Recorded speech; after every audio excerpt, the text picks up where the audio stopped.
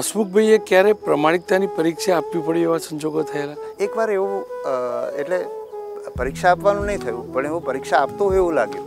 ક્યારે કોઈએ હસમુખભાઈને ભ્રષ્ટ કરવાનો અથવા તો કોઈ ઓફર કરી હોય એવી કોઈ ઘટના બનેલી એવી એક બે ઘટનાઓ છે. મહાત્મા ગાંધીના સિદ્ધાંતોને વરેલા સિનિયર આઈપીએસ હસમુખ પટેલ સાથે સત્યના પ્રયોગો. બપોરે સાડા ત્રણ વાગે